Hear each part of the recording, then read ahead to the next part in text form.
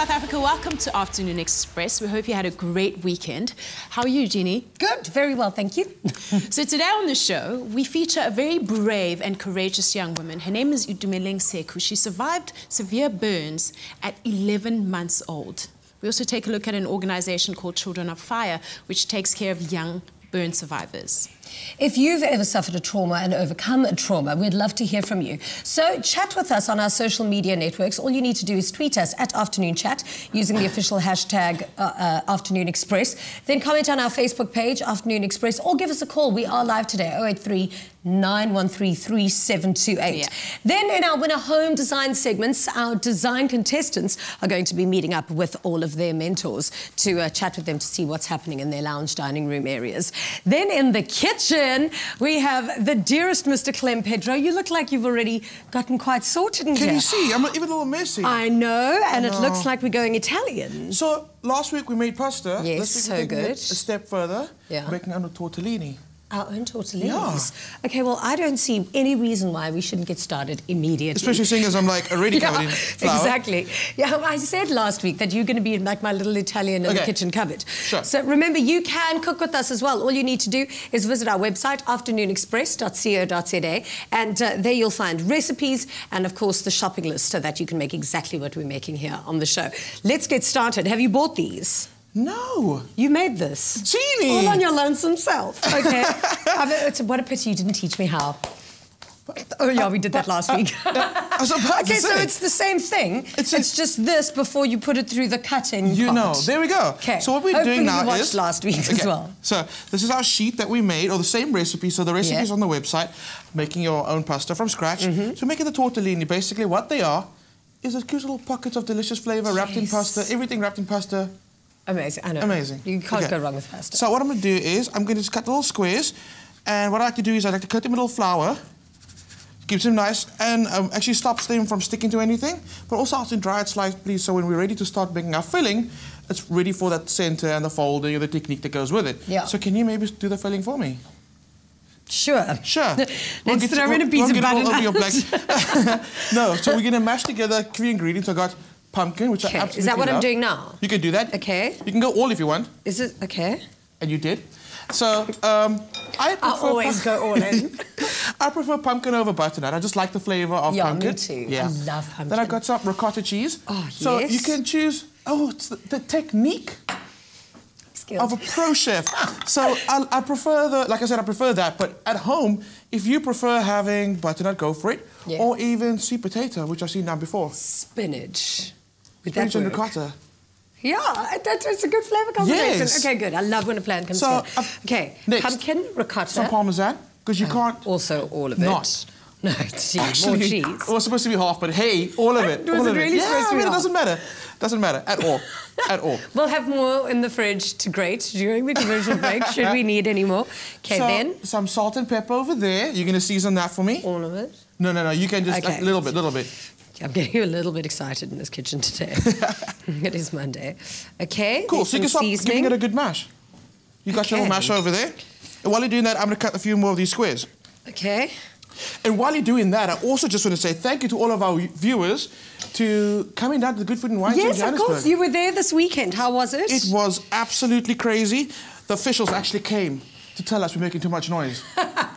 you know, we just turned the speakers up. It just kept on going. I know, of course you absolutely. did. It was such a lot of fun. Oh. So much fun. Clem, That looks good. You know, it's fine. It's rough. It's Italian. It's rustic. On, my, on how bad my gymming's going at the moment because this is hard. Okay. Let me see what you got there. No, it's dismal. No, no, no. Well, as soon as it comes together, Okay. which you're almost there. So let me tell you what I'm going to do. I'm going to take a little bit from this mixture over here. Oh, yeah? Just so we can get started. You can see the, the pumpkins in there, and you can see that ricotta's in there, and the parmesan as well. I mean, surely they've invented something better than this to mush this together. Well, they have. I mean, we've got so many choppers and processors. We don't want to talk about that. It's fine. Okay. Like you said, it's all about Jim. Yeah. so what I like to do is I like either using an egg to seal my pasta or water. I mean, they do the same thing. Okay. Eggs, So- protein, protein always. Why not? Yeah. So it's a little bit of your on your finger, I like how you're still committed. You are committed to that. No, really, you could have boiled this button out a bit better. okay, no shame on TV right now. Okay, so I've got some egg white. I just brush it around the one corner of the, the pasta, and I fold it together to make a triangle. Uh, okay. And yeah. I squeeze out the air because I don't want any of that extra air. yeah. So at this point, you can actually boil this just like this, and we'll be happy, Okay. right? What I'm gonna do is I'm gonna take my finger, fold the points over, bring it together, Yeah. and then pinch and turn out. Oh, so Okay, and then stick together. If it doesn't stick together, a little bit extra water, bring it together. So that's one done. You wanna try? Yeah, Cool. for you. What about? Oh, can I try? Yeah. Okay. I'm actually gonna pass it to you. You can work on the surface. Okay, I cleaned all the surfaces. What is what is that little art form where you can fold paper into lots of little shapes? Origami. Origami. Yeah. I need a little, a little. Cool. Bit. So not too much because you don't want it to burst out the sides of the pasta. No. That's How's cool. that? That's cool. Okay. So you can just dip your finger in the egg white. I'm not going to even scramble it right now because it's perfectly fine. Again, the intensity, I love it. Yeah. No. Focus. Focus. Let's go. It's yeah. To a triangle, and then you press the air out. Okay. Cool, now you pick it up. And then So take around- it. uh, yes, okay, with your finger. But you're doing it, you're doing it. A, ins- Pinch your like corners together, Pinch. and then just turn the little flap out. Oh my goodness, look at that. Yours is a little bit cuter. There you go. Okay. Then what do we do with them Okay, once they've so been I made? a, I made another batch. That's just for demonstration. So I've got a whole Okay. batch going. I was going to demonstrate how you cook them. So Yeah. again, boiling pot of water, a lot of salt, very important. Yeah. And you drop them in. Now we're using fresh pasta, which Yeah. is amazing because it tells us when it's done. They're going to come to the surface, and once that happens, we scoop them out, put them in the plate, and then we'll be ready for part two when we come back. Okay, fantastic. There you have it. Making fresh pasta on Afternoon Express. Remember, afternoonexpress.co.za, and you can make all of this lovely Italian magic with us. Right now, though, let's cross over to Bonnie.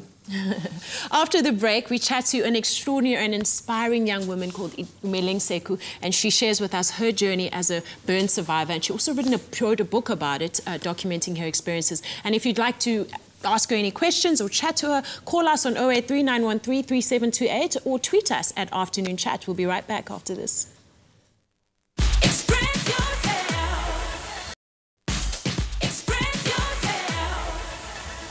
Welcome back to Afternoon Express. Now, our guest today is Itumeleng Sekhu, who at the age of only 11 months survived a fire which left her severely scarred.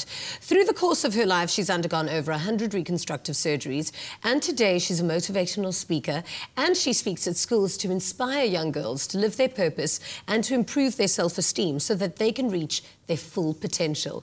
Welcome to Afternoon Express. Lovely to have you with us. Thank you so much for inviting me. So, Dumeleng, you were 11 months old. A candle fell on you while you were sleeping. Yes. How severe were your burns? Um, according to my mom, there was 70 degrees, very bad.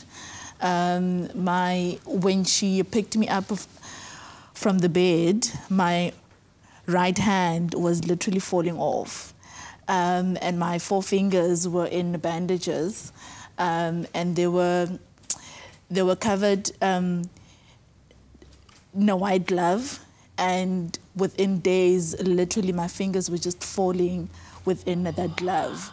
So after three months of being in a coma, um, and three years, um, literally sleeping there, um, and hospital being literally my first home. I walked um, from hospital with no hand and without four fingers.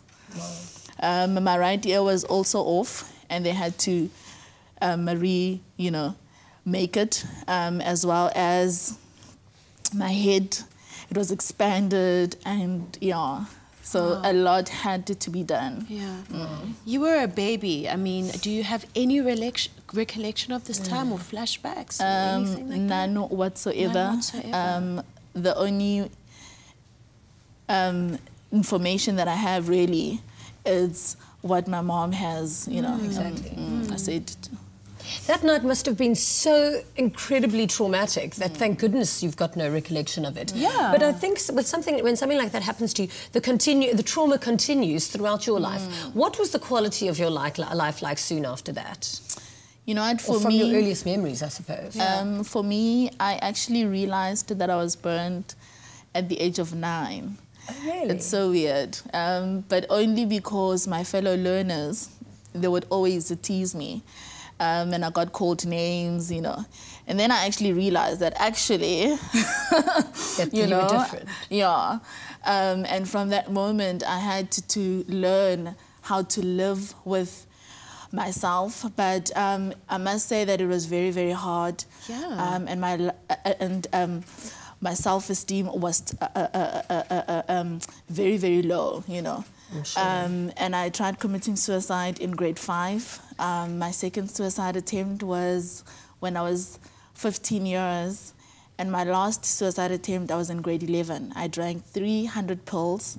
Um, I've always been a writer, and I wrote down my, you know, my feelings. note, yeah. Um, and my mom found it, um, but I woke up with no phone, no headache, no pain. No, no problems. So I decided, you know what, this suicide thing is so not working. Life is you not clearly letting need you off the hook. Yeah. Yeah, yeah. I mean, we all go through serious like self-esteem issues when we're in our teens. I mean, for valid reasons and lame ones. But I can imagine added to already the ones that we have. You, I mean, it was quite an astronomical thing to have to fight through for you. Absolutely. What kept you going, and what kind of what ideas did you hold on to, to that helped you pull you through when you look back? You know what? For me, I think school um, kept me, you know, um, focused. I was very, very clever at school. Um, I was one of those. I was um, um, once upon a time. I was called, you know, the the favorite within Good the for you. classes. Even though I, I was quite naughty, but I believe that um, my teachers will always love, you know, the clever ones. Yeah. Um, and that really made me focus. But um, without that, my life was just hell. Wow. Yeah. And then you still went on to varsity to study uh, audiovisual uh, communications. And what, what was that experience like now that you were older and the kids? I mean, kids, as innocent as they are when they're young, they're also quite cruel. But that's why I was thinking that it was quite a, a- a- you know, something quite nice that you only discovered that you were burnt when you were nine years old. So you're obviously quite protected when you were younger as well. Yeah. Um, you know what? I actually met a very wonderful man in 2007. Yeah. Um, very handsome, um, with muscles and, you know, sexy legs. Um, It sounds like a disaster waiting to happen. He can stay. He can stay. We like those. we like those. um, and he said to me when I um, completed matric that, you know what, you are so beautiful, you know. And um, and those were the words that I really wanted to hear, especially from a man, you know. Um, and he, he said to me, I love you so much. Um, and I want to get married to you. And I was like, really? Me? yeah.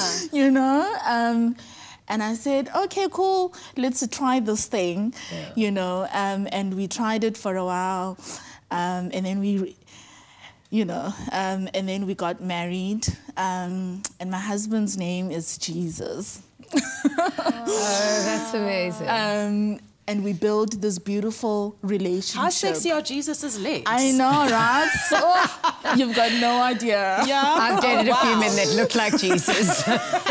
the real deal's way better. um, and we walked this um, journey. And when I went to university, from a school of having um, 12 children in one classroom, I had to face 5,000 learners in one class. And for me, that was unbelievable. I couldn't live, you know, um, w- w- with that um, situation. And my husband then said to me that, you know what, you have a purpose, you know. And from there, I was like, okay, so what's my purpose really? And he said, your purpose is to bring hope and healing to my children. And from that moment on, I started going out to classes because I knew why I was there. Um, and and from that moment on, really, um, I actually think that people started looking at me, you know, um, in another way, simply because I actually started loving Yourself. myself, and I started um, realizing why I was here. Exactly. Yeah. I actually tweeted last week saying that uh, the definition of beauty is purely Mm.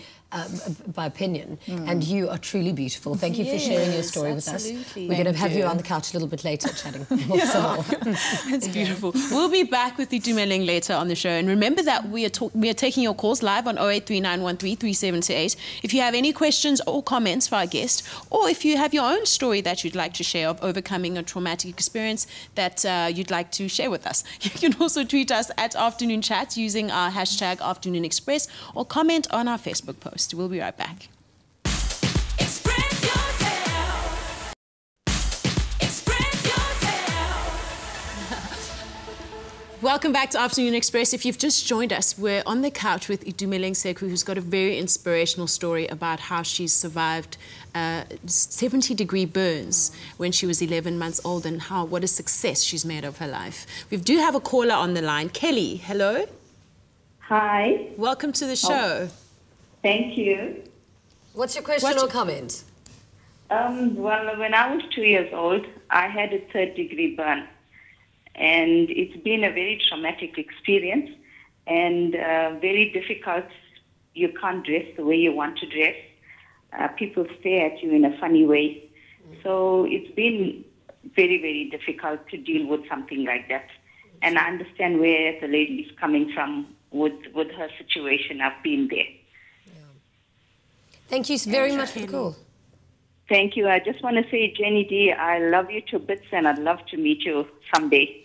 Thank you so much. Mwah, mwah, mwah. Love you too.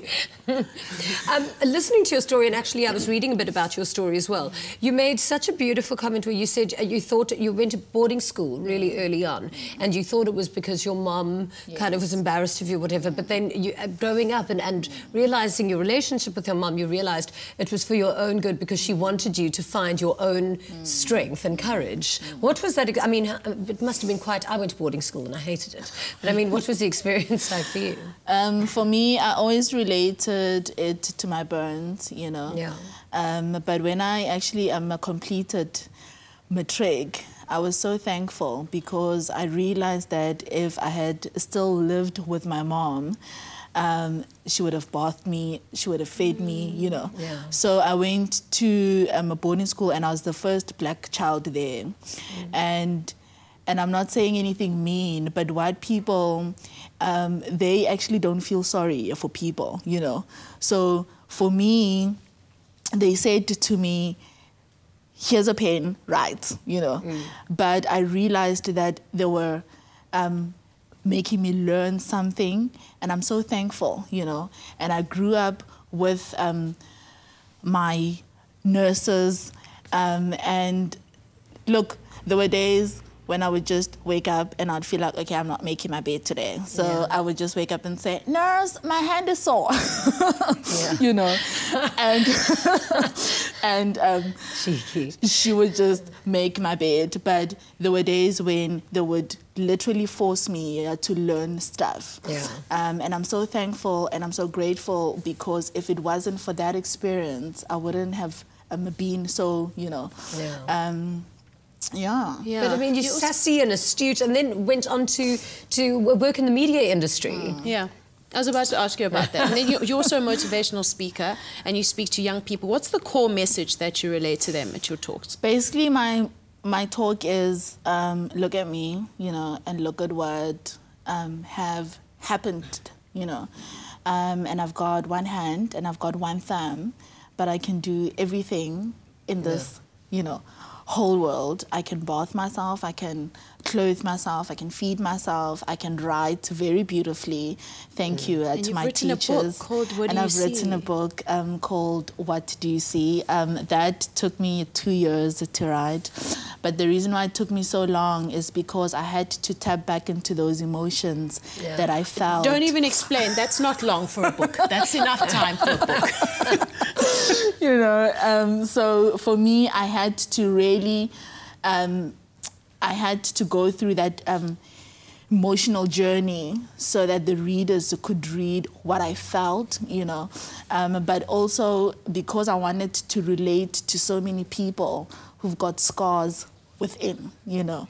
My scars, they are here, they are visible, but so many people, they've got scars, you know, inside. Inside. Yeah. And the process is exactly the same. Low self esteem is exactly the same.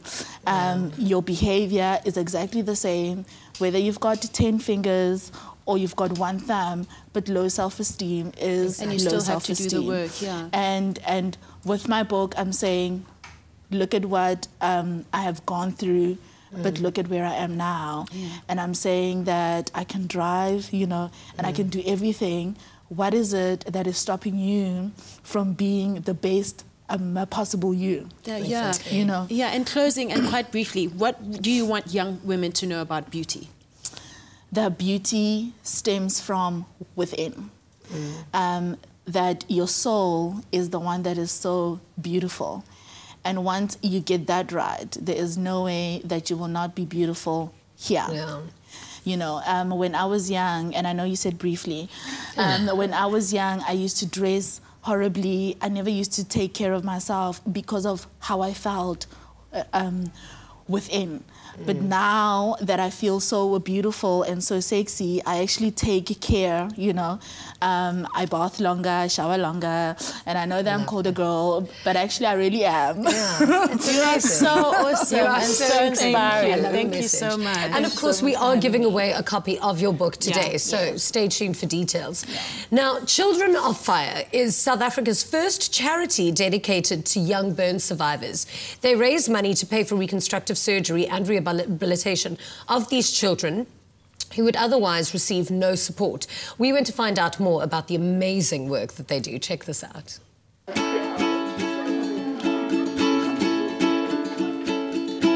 Children of Fire is Africa's first burns charity.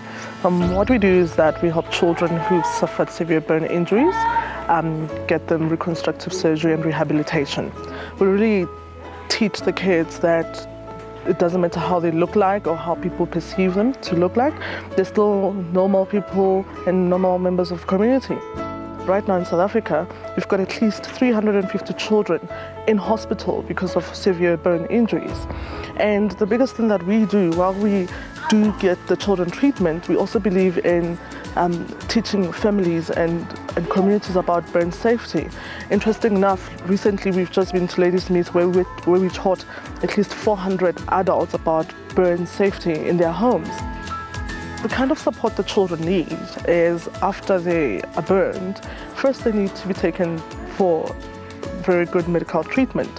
Things like occupational therapy and physiotherapy have to be encouraged from early on because then the whole reconstructive surgery process later becomes easier. So in some cases you find that children come to us four or five years later and had, had they had the right medical intervention early on, then their fingers or joints wouldn't fuse together. And then you have a supportive health system from early on. After the, they leave for hospital, if there was a system where the children could be encouraged, or the families rather, to encourage to bring the children to hospital on a regular basis, just so doctors and whoever is in charge of their care um, knows that everything is going well. And then you have your family support that comes very important because when they have a great support system from home, then they're able to navigate um, society. And also remember during burns, the treatment itself, the rehabilitation process, it's problematic both for the family and the child. So one has to, like here, one you find yourself having to deal with the children and also having to educate the families as well as to how they can deal with the public. And we do things like going to schools as well and talking to other children about disfigurement and we try educate communities that it doesn't matter how a person looks like, but still they are part of the community as well. My journey has been a long journey and it's been hard.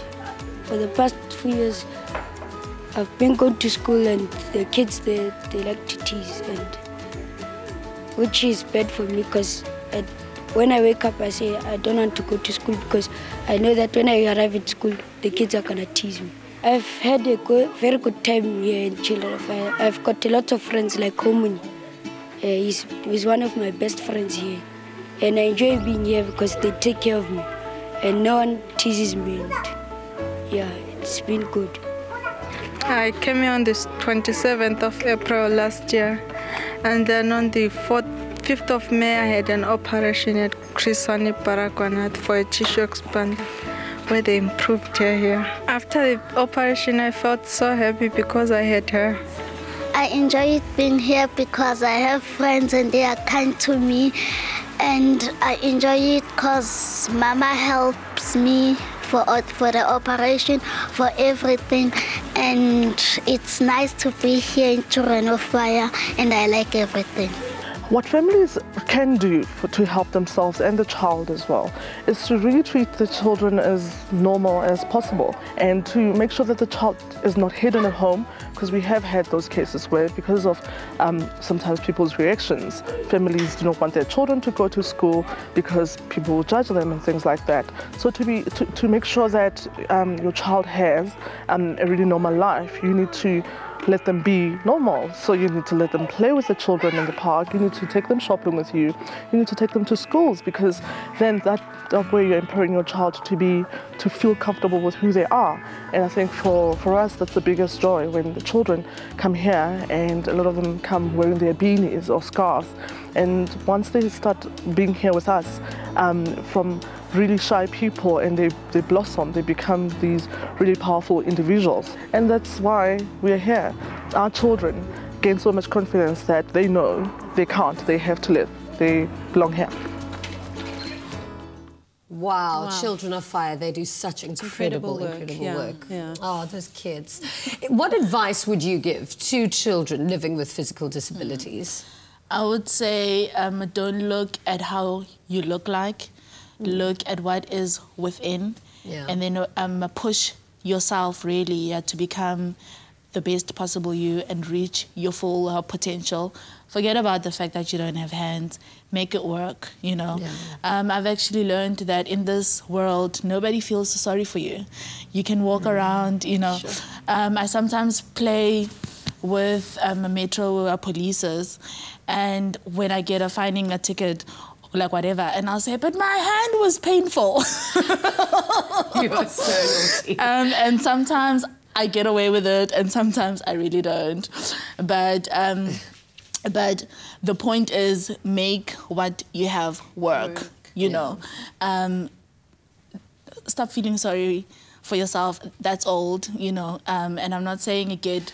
You know, well, I am actually saying it, get over it, but I'm You are saying, but I'm actually saying um, appreciate what you have. You know, and what you can do. Yeah, Yes, and yeah. stop uh, uh, um, stop complaining. Really, if I can honestly write with one thumb, you know, then you can do so much more. If your mind tells you to. You're just so incredible. During the break, I was saying to both the ladies that I just feel like I'm throwing my life away. Yeah. Like when I look at what you're achieving with Yeah, your you're life. incredible. now, today you stand a chance of winning a copy of Itumeleng Sekhu's book, What Do You See? Simply SMS the keyword Express, your name and city to 337282 to enter. SMSs cost one rand fifty each, T's and C's apply, and can be found on afternoonexpress.co.za. We'll be back with you, Dumeling, later on. But after the break, it's time for Win a Home on Afternoon Express. And today, our three design contestants meet up with their mentors to chat lounge ideas. We'll be right back.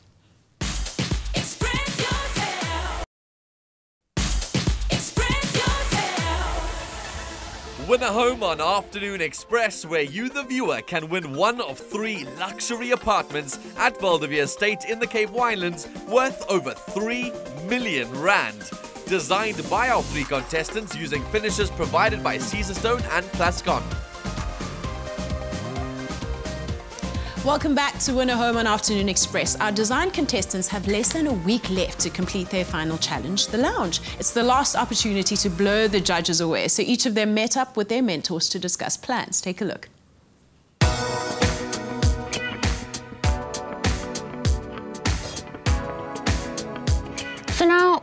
All of the decisions, all the creative decisions that you've been working towards in all the various rooms are going to culminate in your, your living area, which is really, really exciting to see. And obviously the center of that living room is your rug. And so this decision is really important. It's going to, for me, it's a game changer. It's, you're going to make or break the space. So maybe if you want to take me through your options. What I'm looking for is a rug that's very bold, uh, that has a sense of African in it.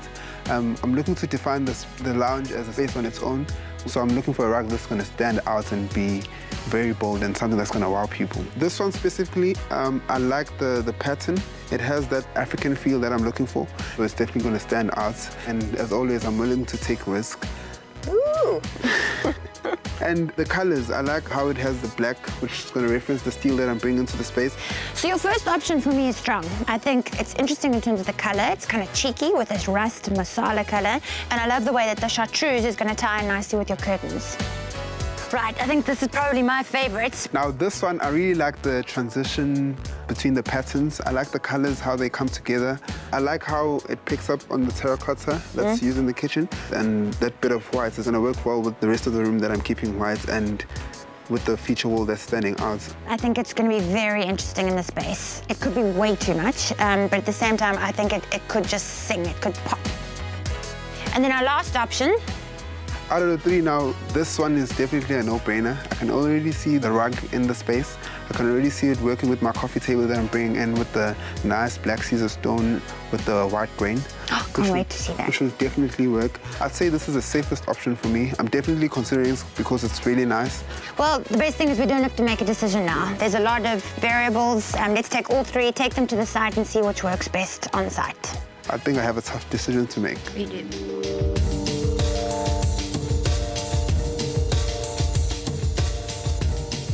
So Michelle, I need your honest opinion on my TV unit that I've designed. What do you think? Well, it's a lot bigger than I thought it would be in the room space.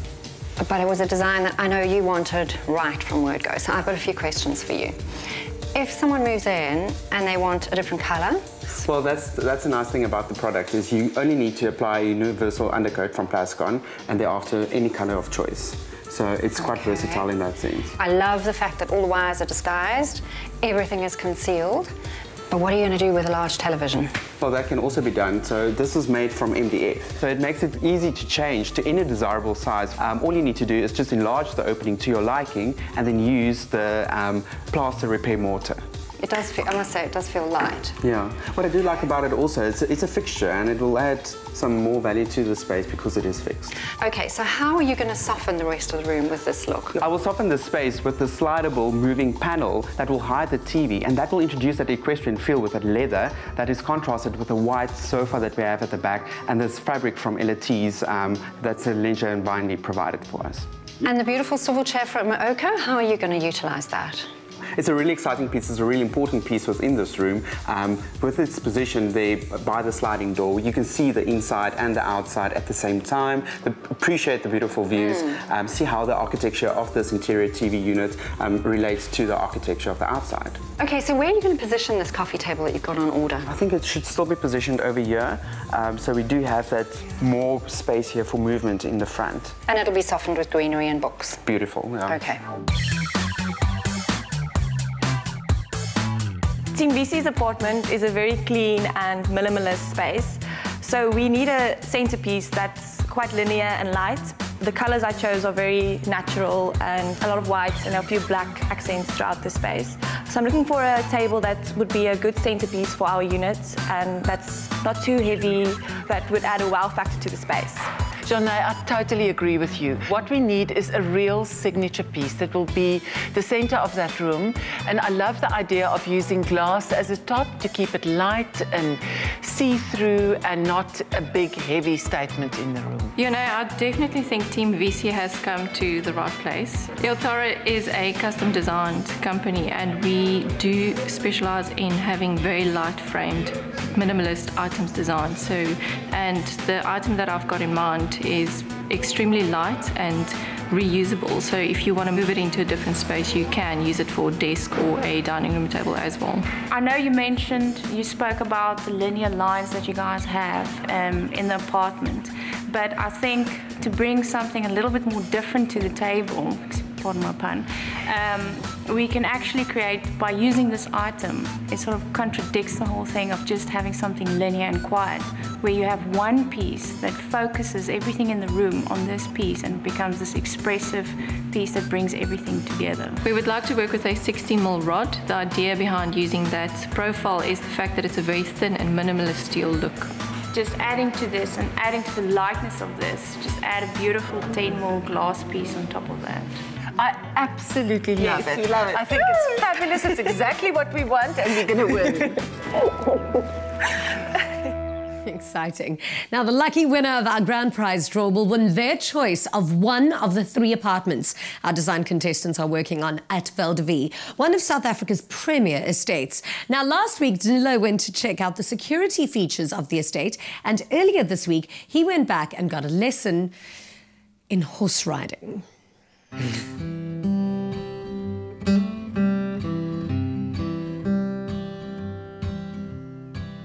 Here at Val de Vie, both the residents and the horses get treated like royalty. Today, I'm being treated to my first ever polo lesson, which could be your new sport if you've entered to win a home on Afternoon Express. I'm intrigued to see how we can get this lesson going, but on a metal horse? Are we Trojans or? Dan, what we've got here is Henry. Henry is where you're going to start. Ah, Henry. Henry is for a reason. Henry doesn't move. If you hit Henry's legs, Henry's legs don't break. so without too much ado, let's get you on. Cool, let's hop on. And you've ridden before? Yes, I've ridden horses before as a child. I used to get involved in all the dressage stuff too. Comfortable? Right. You're such a comfortable rider. Good horsey. Great. Dan, I think what we're going to do is start by changing your hand position. You're going Yeah. to be playing polo. You're going to need one hand to hold the stick. You're going to hold one rein across there. Turn your hand the other way around. There we go. Put your hand, right hand out. I'm going to put that grip through, turn around, and grab the stick like that. And how we're going to turn, you're going to twist, get out of the saddle, and you're going to take your arm out dead straight. Your head's going to be over the ball. Oh, I and You're going to see. come down and you're going to swing through, hit the ball, and you're going to come back into that position. Kevin, in all my years of horse riding, I've uh, seen lessons for outrides, trail runs, beach rides, but I've never seen polo lessons. That's what excites me the most about Val de Vie. What, in your opinion, do you think sets this equestrian estate apart from any other in the country or the world? Val de Vie's Equestrian Estate is unrivaled because we are now have expanded out to Pearl Valley. We're going to now include a riding school. We're in the process of designing an indoor polo arena, which will be holding international show jumping events. So where your polo is a summer sport, we'll be able to play right through the season and play indoor polo in, in one of those. So whatever you do, show jumping, dressage, polo, you can do it on this one estate. And the facilities are world class, really, really superb. Let's just see what happens here today. Wow! Brilliant. Hey, look at me. Uh, There we go. threw me over there. Did a bit of help? You can't throw me under the bus, you can throw me over the horse. I might look like an 18th century uh, sort of traveler or adventurer, but this is what legit polo players look like.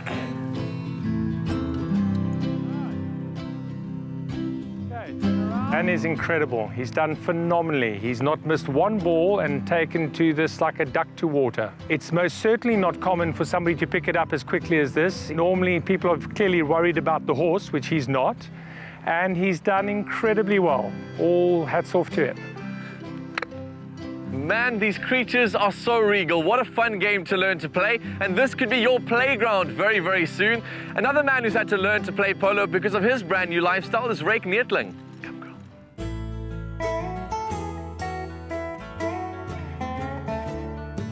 Rake, I hope you were or were not watching that. How did I do? I was watching and uh, not bad. It's not as good as my first time, but I think it was pretty good for a first time. Thank you. So did the trainer say so. Apparently you took a few more extra swings to get it right, but so be it. it's not as glamorous on the hair as I would have imagined, so I'm keeping my hat on while we have this chat. Why has Val de Vie decided to incorporate the equestrian lifestyle into the estate? Obviously here in the Winelands, you know, it's a very popular activity. A polo field like this just creates an incredible you know, feeling of space. It's five and a half hectares. We've got two of these. And we cater for some of the other equestrian activities as well, like dressage, and we do outrides here. So just also creates a very nice feeling to have the horses in between the homes and uh, the equestrian really works for us. Rake, what happens if you're somebody like me who doesn't own a horse? Can I still enjoy all the activities? Absolutely. We've you know we've got horses here in the stable that we that we use for lessons. We have lots of events. We play polo four times a week, and it's an ideal place to just come sit on the porch, enjoy just a glass of wine or a glass of bubbly, watch these amazing athletes, go for outrides. We've got uh, miles of trails that you can enjoy. So it's really you know, something special. It's also so close to Cape Town that you can you know, just come out here and, and uh, kind of switch off. What was your experience like starting out learning about polo and where are you now? Well, my love for the sport really started here. Um, I was watching polo from that porch there for, you know, for many years. Always wonder what it would be like to be on the horse. About a year ago, decided, okay, that's enough of the watching. I have to get on there. Got some lessons from Nacho Figueras, which is one of the you know, top polo players in the world. Also hear from Kevin. It's been one season. I look forward to the next season. Hopefully I can improve. I don't think you're ever too old to learn how to play polo. And uh, here at Val we cater from the beginners all the way to the, you know, the best in the world. Well, I'm definitely a beginner, and what a rush it was. I'd love for you to experience this too. This could be your new backyard. All you have to do is go to privateproperty.co.za, click on the Win a Home link, and vote for your favorite room. That will automatically enter you into the grand prize competition where you can win a home right here on the Val estate. So make sure you enter now. That's Danilo Acquisto with your polo down. Remember that by voting for your favorite design contestants lounge, you stand a chance of winning paint from Plascon to the value of 5,000 Rand and you automatically get entered into the grand prize draw. Here's how. It's not called Win a Home for nothing. You, the viewer, can win one of three completed apartments at Val de Estate, valued at more than 3 million Rand, by voting for your favorite design contestants lounge on privateproperty.co.za. Win a Home is proudly brought to you by Private Property in association with Nedbank.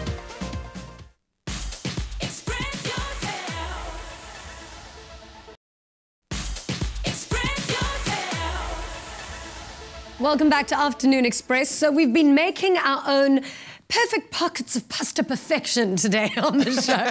and now we're going to get quite saucy with them, apparently. Yeah, okay, so I've got a lot of butter here today, and I'm not going to use all of it. I, don't, I mean, it's crazy. so what I'm doing is I've got a pat, pa- pat? A I've got pot, pan, pan. I've got a pan really hot. I'm going to add the butter there. We kind of want to toast the Mm, butter a little I bit. butter. So butter has a lot of different other Toasted flavors. butter. Yeah. Mm. I mean, we can smell it already. You Yeah. can smell that nuttiness. So we know Oi. butter's quite creamy. If we start cooking it, it starts developing and cooking all the solids in there. Okay. And that starts to toast, and you get that nutty flavor that comes out. Mm. Right. I love it when you talk like this. I'm salivating already. So that's going to start cooking down. Yes. And I love adding sage to butter. It's just like a magical combination. I don't even know what sage actually smells like in real life. Save me a little piece. How does it? Oh, smells amazing. Lovely. Yes. Okay, this is going to be a good dish. It's so good. So the butter and the sage cooks together. The sage goes a little crispy, which is amazing. Like a little canapé, little snack. Okay, you but know? now you haven't chopped it. What if we eat the leaves? No, no, no. I kept it whole. Because maybe you see what happens is sage does tend to get a bit overpowering. Okay. And if you bite on a massive leaf, it gets a bit soapy. Okay, so you can take Yeah? it out. So All what you want is you're going to see it starts foaming like this, and that means we're nearly there. The indication right here is smell. You're going to smell the nuttiness, and then you know it's good to go. Okay. What I'm going to do so long is I'm actually going to add our tortellini back in there, so it kind Oh. of toasts in the butter. Yeah. Look, you don't eat the butter. The butter dresses the tortellini. No, I'm totally feeling you. This is amazing. You give it a bit of a shake. You can see how they like, become all glistened, all delicious. You can smell it now. What you do is to stop the butter from burning, hit it with a squeeze of lemon. Wow, good tip. And also, it's just like that acidity cuts through the richness of the butter. And look what I got for you, some grana padano. But I think we should actually do it on the plate. How about that? Yeah, yeah, yeah. Let's do that. And maybe you should do it as well because that looks like a, you know one of those things that I don't know how to use. Ooh, let me actually flip it. I, I don't want. I know. I know you had an injury last week. Yes. So I don't want to let you get burned again. So I'm just going to do the little flip over here, and you can see the tortellini's toasted up. Oh, Clem, you've actually made my Monday. Mondays aren't so hot, but you've made. Okay, I'm going to attempt this. Go for it. Go for it. Watch the nails. Watch the nails. No, I'm not going to. Just pass it back. Let's swap sides. Swap sides. okay. And just to finish it off, just a little bit of extra cheese on top. Yes, layer it on. And I mean, it's quite rich already, but the cheese, I mean, just add so much more to it. Oh, can you smell that? That is so good. So we all go to gym after this, right? Yeah, and this is perfect for meat-free Mondays as well. It is. Oh, thank you so much. Remember, afternoonexpress.co.za. And trust me, this is definitely something that you're going to want to make your family for dinner tonight. How is That looks absolutely that? amazing. Catch a whiff of my dish. Well, ours. That Ours. looks absolutely Mine. incredible.